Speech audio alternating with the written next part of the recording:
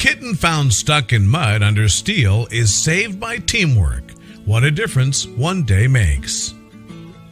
A tiny kitten was found stuck in the mud under a pile of steel on a cold September day. It took a small army of teamwork to get this little boy rushed to the vet. The kitten was dug out, and after pleas for help, we got him from Huntington to one of our wonderful vets in Charleston.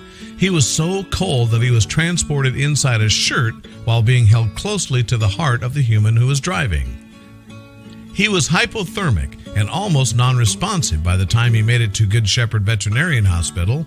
Steely Dan was emaciated and very sick, but the whole team of staff stayed by his side making sure he got everything he needed to battle through the night. He's checking things out, already used to the potty, and met his new friends, Kelly said. The rescue kitty stole everyone's heart in his foster home. After a couple of weeks, Kelly and her family couldn't imagine life without him.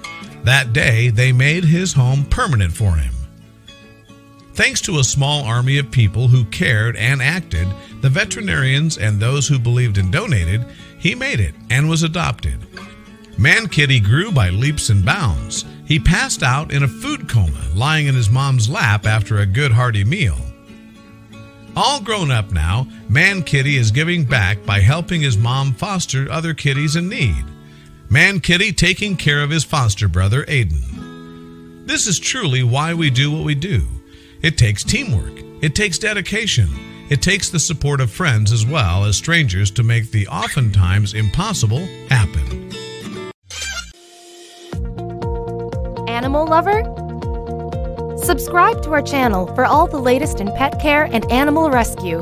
You can also visit our store where you'll find cheeky merch for cats and dog lovers, including fun and original t shirt designs and many other accessories you will love. Our earnings will help support and rescue animals in need and make a difference in their welfare. For more information, visit www.pawsfashion.store.